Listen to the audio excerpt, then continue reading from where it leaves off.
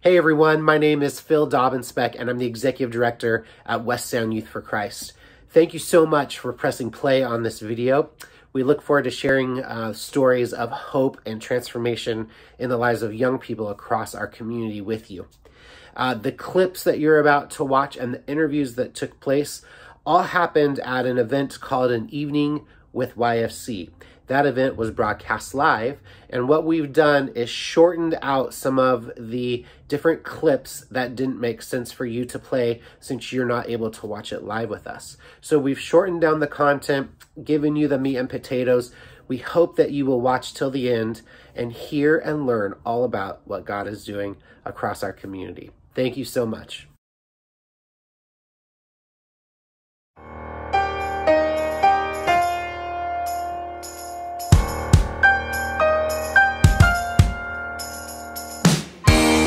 This thrilling rush, electrifying air, eyes open wide to take this moment in. We're carefree like the wind, awakening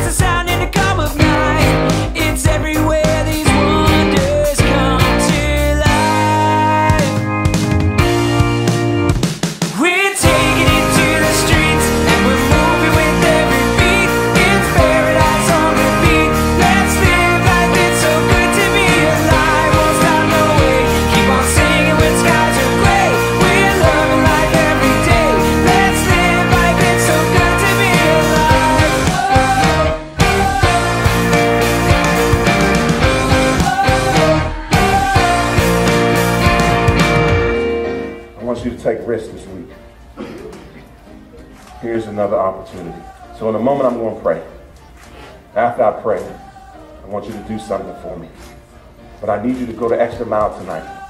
After I finish praying, I'm going to release you to go into the gymnasium. And I want you to find a spot by yourself. And I want you and God to have some time together. We're taking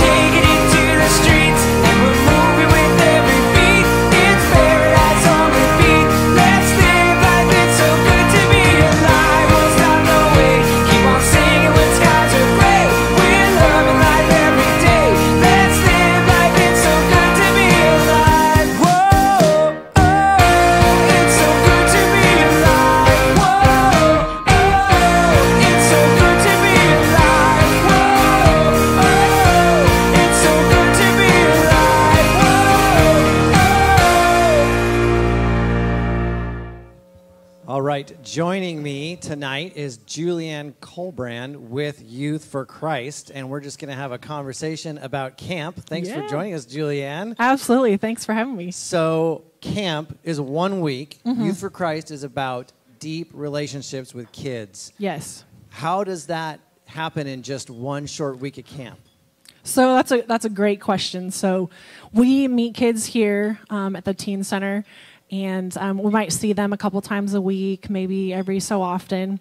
But when we go to camp, we're around each other the whole time for 24 hours a day for four or five days.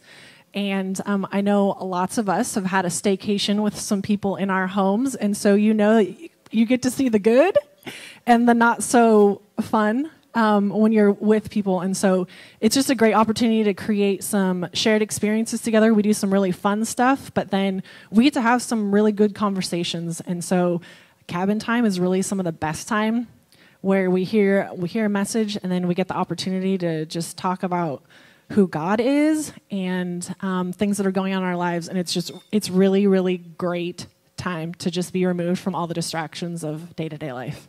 Yeah, like a focused, condensed time of relationship building, it sounds like. Yeah, Yeah. yeah, absolutely. Great. So tonight we're here with our friends in the room and everybody watching online, and we're Mm-hmm. holding this fundraiser. So tell everyone why is fundraising important for camp? So, if you have planned a vacation anytime recently, things aren't things aren't free anymore. Were they ever? I don't know if they were ever, but I mean, when I was a kid, they were free because my parents just paid for it, right? Hi, mom. Um, congratulations on the coffee basket, by the way. Um, but uh, things cost money, and those experiences cost money. So, um, and there's like insurance and all these things like that go into paying for these experiences, high ropes, all of these things. Um, that we want to give these kids these opportunities that they might not normally get a chance to do, but their family might be focusing on trying to just keep a roof over their head, keep food on the table, and so um, yes, some of that some of that cost that that comes that comes with camp is covered, but sometimes kids don't get a chance to do that, and so it's just one of those barriers that we want to remove, so that all kids have an opportunity to go and create some memories, but also um, hear the good news. Yeah, that's that's awesome. That's Yeah. great. And and every kid should have that opportunity, even if they're coming from a family that wouldn't otherwise normally be able to afford it, right? Yeah. Yeah. Great. Thank you, Julianne, for coming up here and talking with me and sharing with everyone.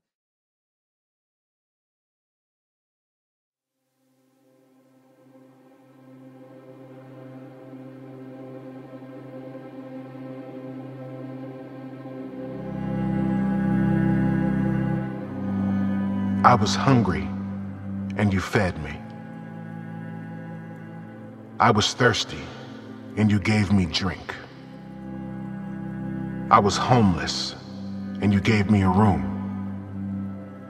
I was shivering, and you gave me clothes. I was sick, and you stopped to visit. I was in juvenile detention, and you came to me. There are over 30,000 11 to 19 year olds here in Kitsap and North Mason. Many of them are overlooked and unaware of the hope found in Christ. Every day, real kids with a story to share wander and search for belonging. Some turn to drugs and alcohol to numb the pain in their lives.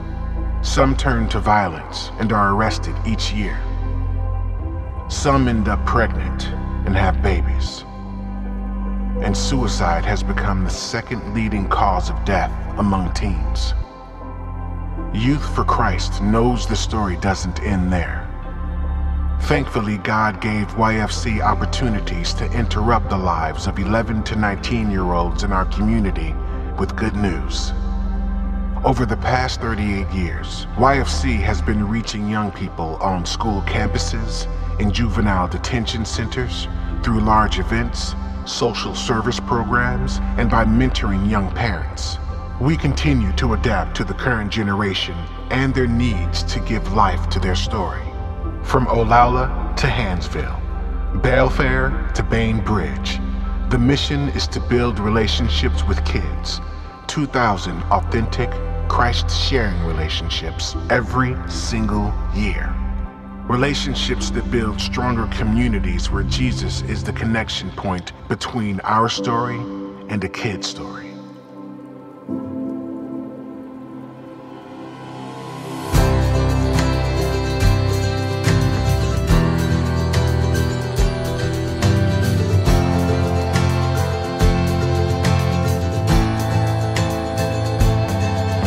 Consider for a moment how God wants to give life to your story. We know it will take hundreds of ministry partners to reach 2,000 kids. YFC is growing and expanding, meeting new kids every day. Now imagine the thousands of kids we haven't met yet. Imagine knowing your involvement can make the difference in just one of those lives. The need is clear. In order to reach 2,000 kids this year, we start with God and invite you to serve, to give, to inspire, to engage, to reach young people everywhere. We are Youth for Christ.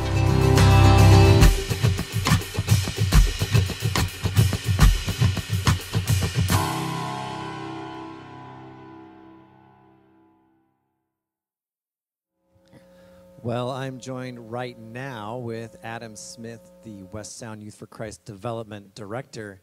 And Adam, 30,000 young people ages 11 to 19. That's a big number. It is a big number. How, what do you Um, think about my when think microphone's about? We got it now. I think we- I think we're good. Which way is mute? There's an arrow and a it's mute button, uh. and it is confusing. So, thirty thousand. It's a big number. What do you think about when you think about how do we go about making an impact in that big of a number? Yeah, I, I, I think it's uh, it takes effort, but it's simple. Um, at some level, I'm only sitting here because someone back in 1994 named Steve Blacksmith reached out to me through basketball, and um, I got to go to a camp and I got to um, participate and, and learn from people, and that's basically what we're doing here at YFC. Is we uh, we're sitting in our mothership, if you will, right? We have a, uh, an amazing teen center downstairs. And um, recently, the way the, the um, rules have been, we've been able to reopen under a new name called the 801. And so we're open Mondays and Wednesdays for local teens uh, here, attend Bremerton High School, Mountain View Middle School to come and uh, participate in what we have going on. Very cool. Very cool. And we were talking earlier this week, and there's some pretty great opportunities, even in this time of shutdowns and COVID and restrictions. There's some great growth opportunities going on. Uh, tell us about what some of that is. Yeah, so we have an amazing partnership um, with North Point Church up in Poulsbo. They have this property that sits right out front, and they're located right by the high school and right by the middle school. And this property, we started dreaming about it, um, and we are in the process of um, basically bringing that building to life and uh, creating a new teen center in the North Kitsap community for kids to be able to drop into, you know, um, play games, get into programming, uh, get on uh, online, play video games. We have a cafe planned on being in there, but ultimately it's a safe space for kids to belong and um, to get connected with positive adult mentors. Wow, very cool. So, the impact that's happening here in this building, the 801, being able to replicate that even in the time of COVID, that's pretty amazing. That's very cool. Yeah, we're running things like um, art classes, for example. I have an animation degree, and one of the things that is really cool is when you can show up and draw Batman for a kid or SpongeBob. It's like a magic show, right? So, being able to pull out high school students, middle school students, and show them how to draw and improve and use their creative capacity has been really cool. And we're working towards things like leadership classes, uh, life skills classes, and other things like that that can really uh, benefit a student and allow them to connect with people. Yeah, very cool. Adam, thank you so much for joining us and sharing a little bit.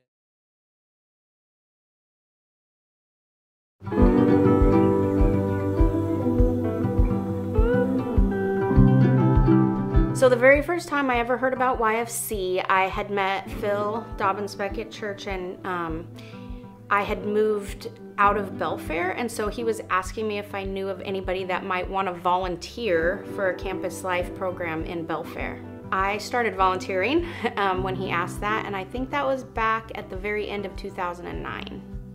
I think what I like most about Youth for Christ is that they actually go to the places that the kids are. Um, you know, being in ministry within a church body is amazing, but there is that um, gap. And, you know, we wait for kids to come to us typically in the church, where um, YFC is that bridge. We go to where the kids are and build relationships there, and then everything goes good and we bring them into a church. I think more than anything, what young people need today is Jesus.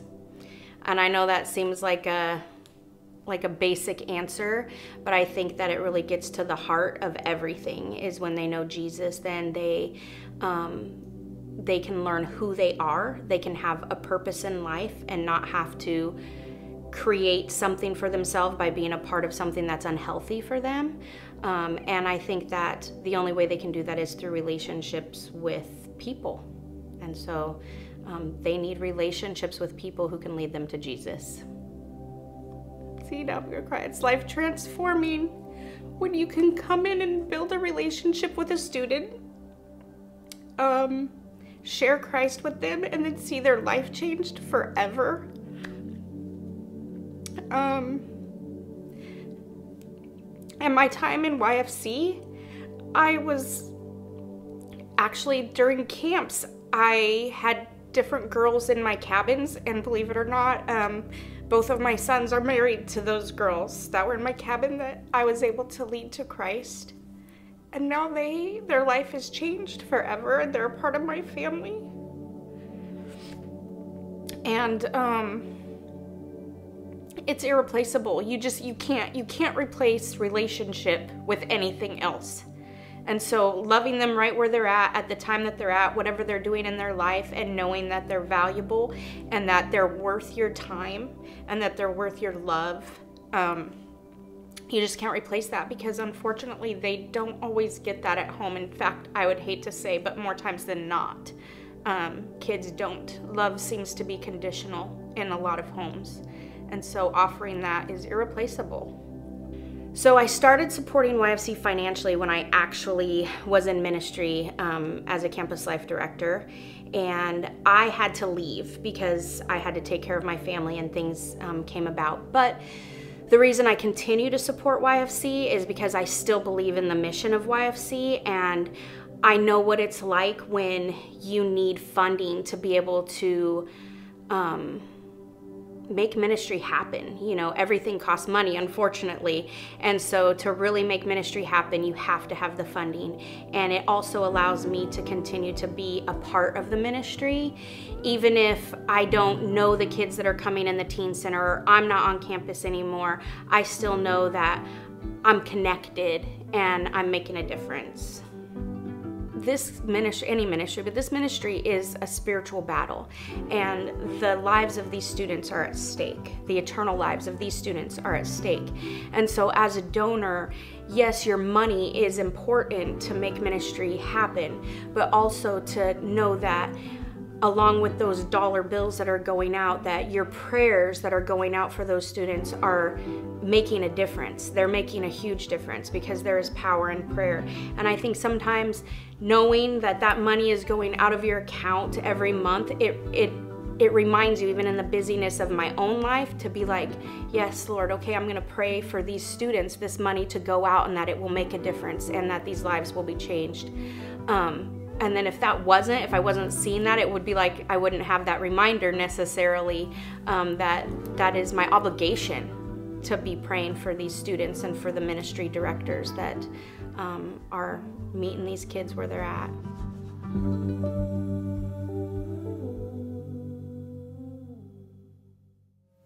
Well, I am joined now with Brandy.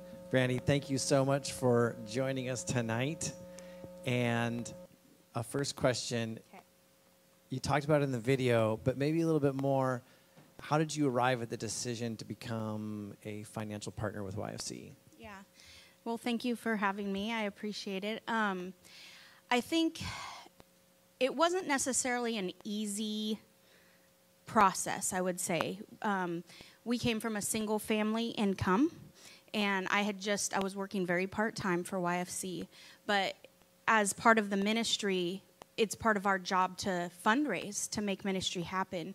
And as I was um, in a Bible study, actually learning about what it means to raise money and how that is a part of doing the ministry, God really convicted me to say, if you aren't put your money where your mouth is basically you know if you're out here doing it and that's great but are you fully 100% invested because i think a lot of times our money controls us. And you know it's very scriptural that we we give. And so um, after talking it over with my husband you know we started what we could afford at the time and small and and have increased it you know over time. But yeah I, I didn't feel like i could ask somebody else to give if i wasn't. Yeah. That's good. Thank you so much. yeah. So now you've been giving for some time. Could you maybe share with everyone what are some ways that um, being a, a, a giver, being a Youth for Christ financial partner has impacted your relationship with God and, and your faith? again, I think that um, in this world we live in, in this crazy world we live in, that money is such a huge factor. And um, I feel good to say that my husband and I do not allow money to control us. And so we have gotten to this place, and it didn't come overnight. It's been years and years of giving and watching God show up in our life when we're willing to surrender our finances. And it's been a huge process, but you know, the seed in the sower is really what it comes down to. And so it's been awesome to watch God show up in our life time and time again. And it's created that spirit of giving within us where it's like, where can we give? What can we do? You know, more and more and more because um, because it's glorifying God and it's blessing the people that you're giving it to, and it also helps you stay connected to ministries that are doing the things that like I can't do right now, you know, and some people maybe they never could go on a campus or volunteer in a teen center or have anything to do with teenagers for that matter. It takes a special gift. So the the money aspect of it is a way to be involved and it has just grown us I guess our relationship with the Lord, we're like in that sweet spot of just really knowing and trusting Him. And we wouldn't have it any other way. Yeah. That is awesome. Thank you so much.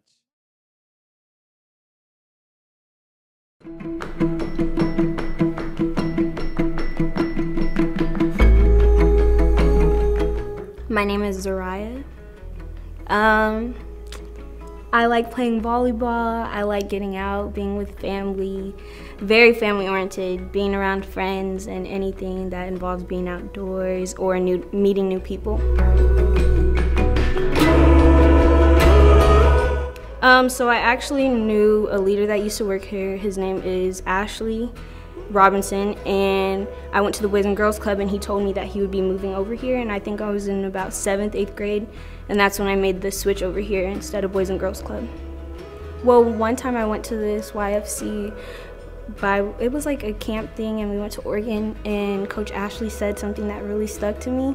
Like I have a few verses that I remember like Philippians 4:13, I can do all things through Christ that strengthens me. And that really stays with me because like I can accomplish anything no matter what anybody thinks about me and that's kind of that mindset that you have to have because people are constantly going to judge you, but if you keep your faith, you shall prosper.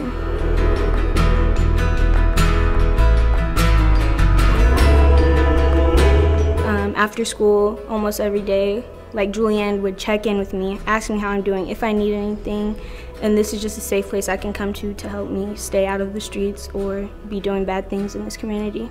She's funny. Like she's the funniest person I've ever met. And like sometimes it's hard to connect with adults, but when they are just that fun, interactive person, it's easier. Like she's honestly helped me get closer to God as well, read into the Bible, and also like to kind of stay out of the streets because we have a place like the 801 that we can come to after school. I feel like I can just be myself here without getting judged by the staff or other kids that are here.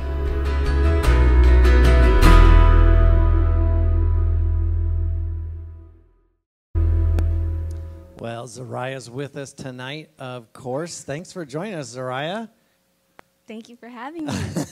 so, in the video, you talked about coming to the 801 and what that experience was like. Could you kind of tell us the story of your first time here and what you experienced? Yes, so when I first walked in, it was so welcoming. Like, staff were like, oh my gosh, how is your day going? And students I've never talked to at school were trying to get closer to me, and it was so surprising. It felt like home, and I just had a community that actually cared about me. That sounds pretty awesome. So, earlier this week, we were talking, and you were sharing with me a story about something that happened on social media that you were trying to figure out recently. Could you share that with everybody? Yes, so TikTok. Is that like your, your clock app or? I wish I could say it was that. but I came across something on TikTok, like other social media platforms that interact and attract kids around my age, that I didn't necessarily agree with, and I didn't know if it would be right in God's eyes to look at it. And so I was able to come to the 801 and talk to my leader about it, and we dug deeper down inside to what the message was actually saying. And she helped me and I learned that it wasn't disobeying God if you're doing it in the right way. And that brought me joy knowing that I can come to somebody to talk about problems that can be deeper that necessarily I can't talk to somebody at home. Yeah, yeah, that's great. Thanks. Okay, so the other thing we were talking about earlier this week is maybe sharing something that God is teaching you about in your life right now. Well, God has been teaching me a lot of things, but especially through quarantine, and that is to keep my faith because with all the stuff going on in the world right now, you can question God sometimes, like, why is this going on? What did you do? Like, why is this going on? But to always have your faith and know that He does everything for a reason has really helped me. That's awesome, and that's kind of inspirational to me too. So thanks. Thank you. Um, could we give Zariah a round of applause for just sharing? Yeah, thank you. That's awesome. Thank you. Thank you. I'm going to turn it over to Phil, but I just want to say that as a as a volunteer here tonight for Youth for Christ, and I I love the ministry of YFC. I love what's happening here and getting to host, talking with young people and leaders. And so I just invite you as you know, just Josh here with you guys tonight, and you watching online to to open your heart and ask and seek. Uh, how is God inviting you to be generous? How is He inviting you to be involved as Phil shares? So I'm going to turn it over to Phil Dobbins-Beck. Thanks, Josh, and thank you, Zariah, for sharing your story. Thank you. I know that can be scary to get in front of a room full of people, and then there's a camera in your face, and you don't know who you're talking to, just like me. Hi, everybody. Um, hey, thank you so much for being here again tonight. I'm so excited that we were able to host this event. Um, if you're like me, it just feels good to be around people tonight. If for those of you in the room, and for those of you at home, it feels great to still be connected to you, even though you're not here. So we're doing things we never would have done a year ago, and uh, it's great to have everybody with us tonight. Um, I want to read a verse to you out of Matthew, Matthew chapter 25. Um, Verses 35 through 40 says this For I was hungry, and you gave me food. I was thirsty, and you gave me drink. I was a stranger, and you welcomed me. I was naked, and you clothed me. I was sick, and you visited me. I was in prison, and you came to me. Then the righteous will answer him, saying, Lord, when did we see you hungry and feed you, or thirsty and give you drink? And when did we see you a stranger and welcome you in? or naked and clothe you? And when do we see you sick or in prison and visit you? And the king will answer them Truly I say to you, as you did it to one of the least of these, my brothers, you did it to me. A few years ago, I was able to go snorkeling. And uh, for those of you that don't know me, I love to be on the water, not under the water. And so um, I'm not a great swimmer, but I love to be on the water. I love to be out in boats and playing and doing lots of fun stuff. But being underwater is just not my favorite thing. I've also come to realize that I don't enjoy being upside down. So, like, I always want to do like these handstand push ups, but I don't like being upside down. It's just not, it's just not comfortable for me. So, so I go snorkeling. We sign up for this snorkeling class, and we're getting ready to go. And and the instructor gives me some very clear instructions.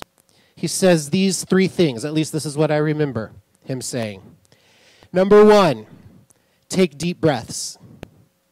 If you take shallow breaths, you're going to reuse the air in your snorkel tube. So take very deep, methodical breaths. Two, stay away from the beach. It's a protected sea area. So if you touch it, you'll get a ticket. So just don't go to the beach ever. Come back to the boat. And three, don't freak out. Right? So, three very simple instructions. And as we're talking, um, we, we put on the flippers, we put on the snorkel, we make sure everything masks, we're good to go. Uh, different kind of masks than we're wearing today. Um, but we were all ready to go. We jumped in the boat, we went out, jumped in the water, And before I got in the water, I already couldn't breathe.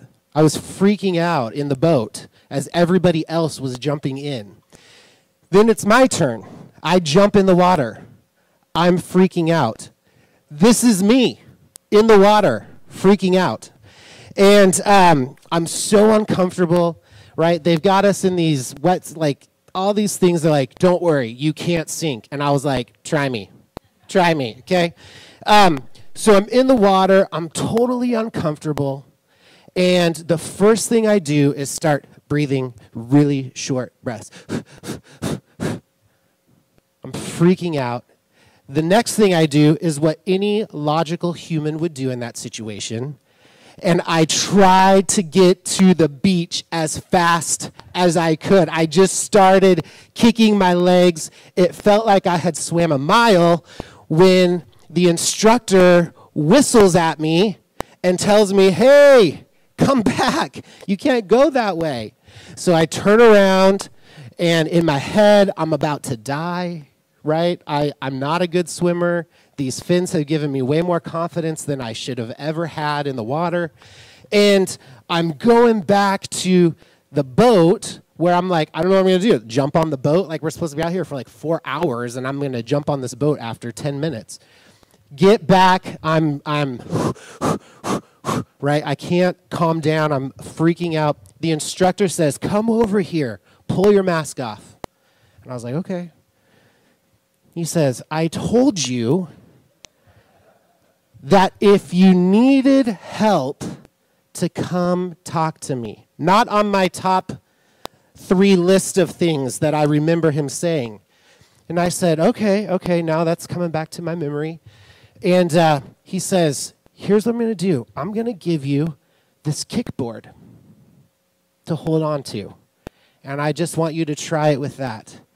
And guys, I had this little kindergarten red kickboard that both my hands were on, that I went for the whole rest of that snorkel tour kicking around because I had my hands on something that gave me balance. It gave me something to hold on to. It was bigger than me. When I was in the water by myself, it wasn't enough for me. I needed something. I needed something to hold on to. To hold on to. And guys, that's what we're talking about. That's what we're talking about. Need something, else to hold on to. When I held on to that thing, literally, I cannot even explain it, but instantly I had this peace and calm that just came over my body. And I did. I went all over that thing. I started going underwater. I started doing all kinds of stuff because somebody had given me a tool, right? And on that tool, it clearly says? This is not a life saving device. But that saved my life. At least that's how it felt. That not a life saving device saved me. It made me able to stay in that water and swim around and hang out and have fun. Young people, oftentimes in our community, are drowning in the chaos of their lives. Life is so messy for kids right now. They need somebody to throw out a life preserver. They need somebody to hand them the kickboard to say, hey, guess what? I'm here to help you. If you're ever freaking out, just come and find me and I'll help you. I have things that can help you. I have the one who can help you. Just come to me. In Ephesians 2, uh, the message version of it, I love how it says this. Now, God has us where He wants us, with all the time in this world and the next to shower grace and kindness upon us in Christ Jesus. Saving is all His idea and all His work, All we do is trust Him enough to let Him do it. It's God's gift from start to finish. We don't play the major role.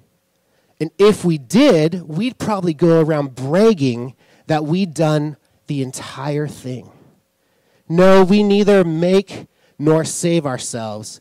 God does both the making and the saving. He creates each of us by Christ Jesus to join him in the work he does, the good work he has gotten ready for us to do. Work we had better be doing. I want to read that last sentence. He creates each of us by Christ Jesus to join him in the work he does, the good work he has gotten us ready to do. Work we had better be doing. He does the saving. There's no question. The Holy Spirit is at work in people's lives across our community. But our job is the good deeds, the good works, the things that help people. It's handing them the kickboard so that they can continue to float. It's having conversations to help provide kids with stuff that no one else is doing. Matthew 5:13 says you are the salt of the earth, but what good is salt if it's lost its flavor? Can you make it salty again?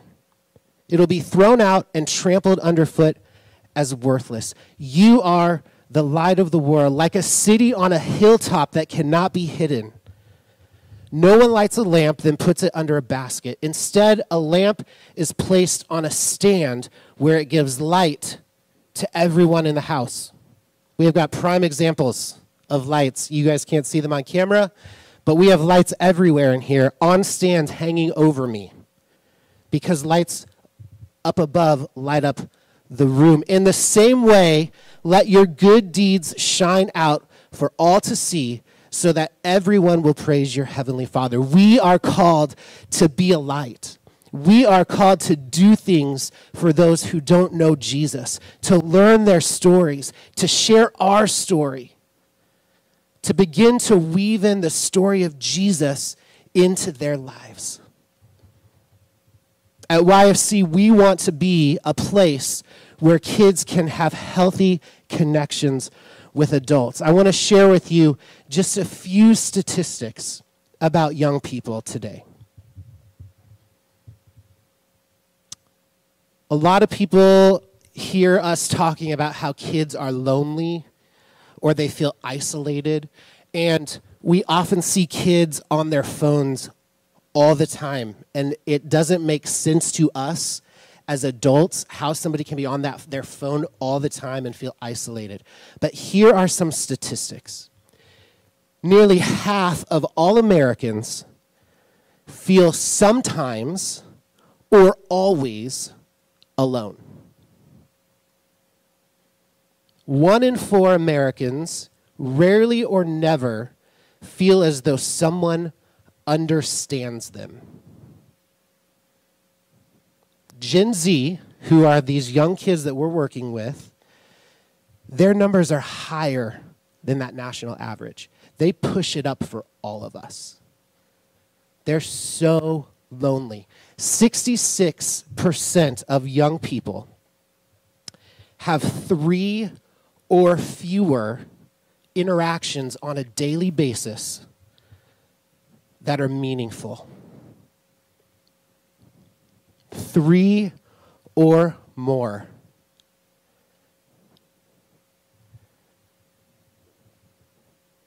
Sixty-five percent. That's that's like with parents.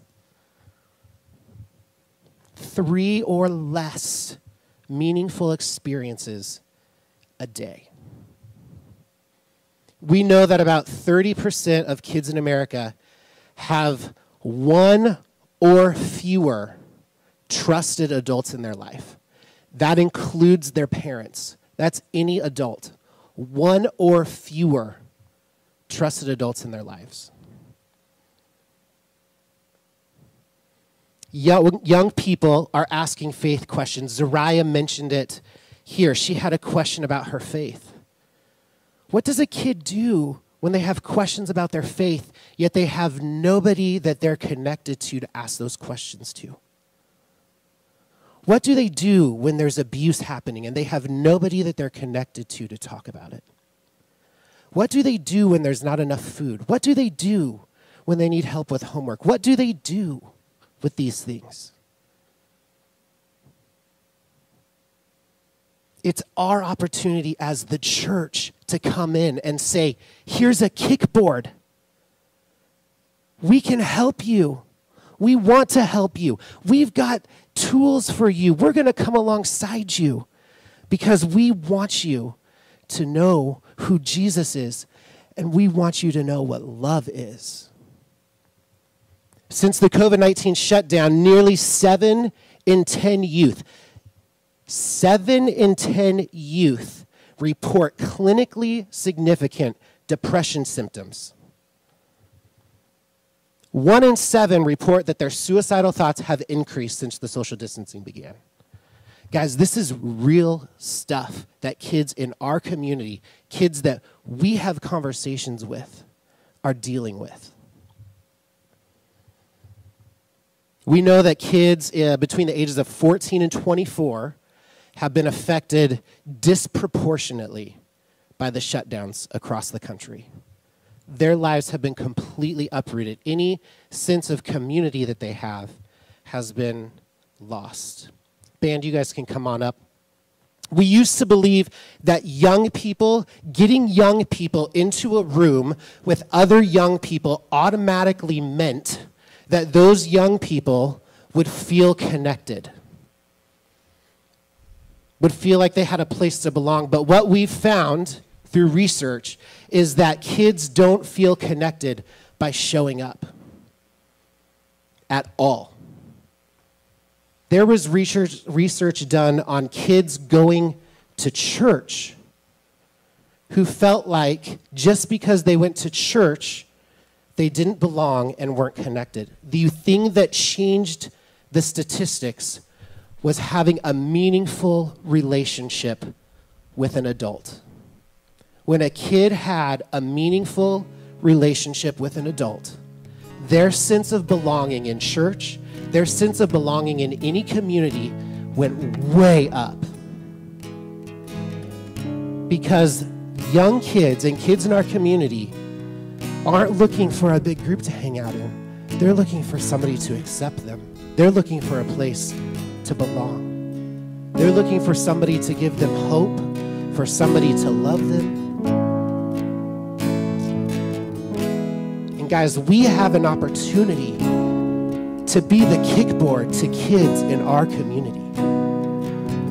To say, hey, come on over. Come on over. Come to the 801. Come to the Center in Poulsbo. Come to the Parent Life Group.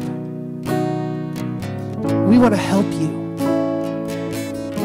We want to give you the tools you need to be a successful life. And most importantly, we want to introduce you to Jesus, who loves you and cares for you and has a plan for your life.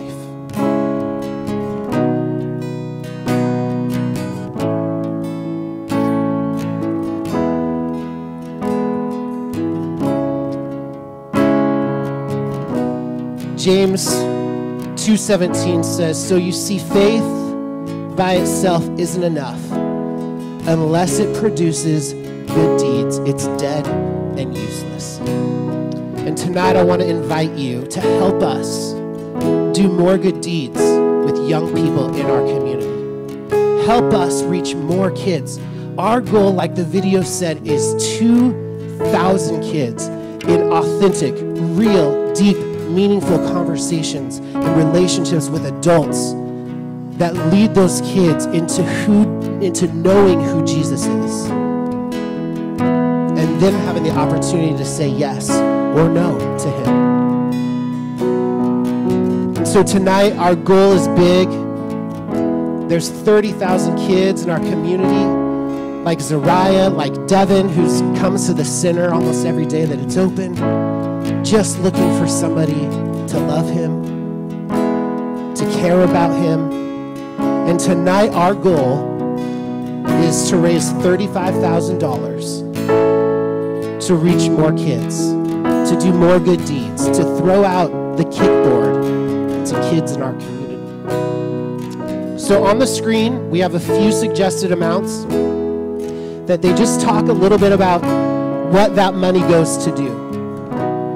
And that, those are great, and it's true. That is what the money goes to do. But every dollar that you give goes to give kids a place to belong, to give kids hope, to give kids a sense of meaning and purpose, and to introduce kids to Jesus, who ultimately is the one who can transform so tonight, there's a real easy way for you to give. It's going to go on the screen. You just pull out your phones. You've been doing it all night. And there's a number up there. You're going to text give to YFC to that number 5625. And when you send a text to that, it's free. Sending the text is free. But when you send that text, you're going to get a text back that brings you to a link so that you can go and make a donation on our website.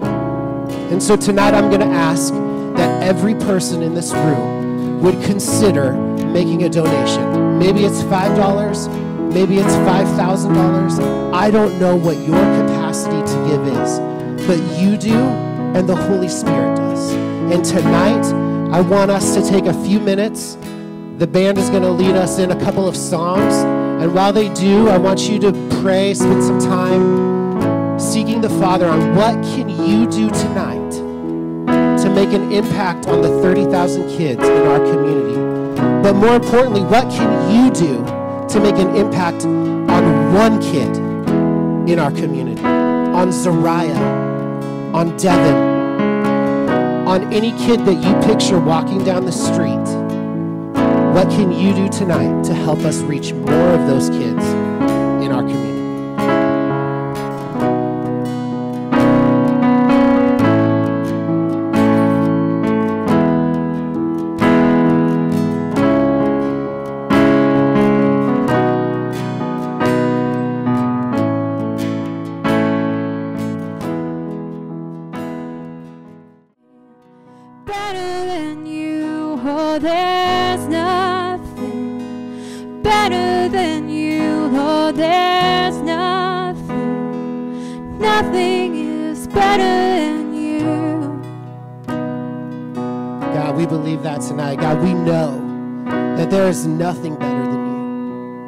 God, there's nothing sweeter than your spirit. God, there's nothing better than being in your presence. God, there's nothing, absolutely nothing that's better than you. God, thank you for tonight. God, thank you for all that you're doing in each of our lives.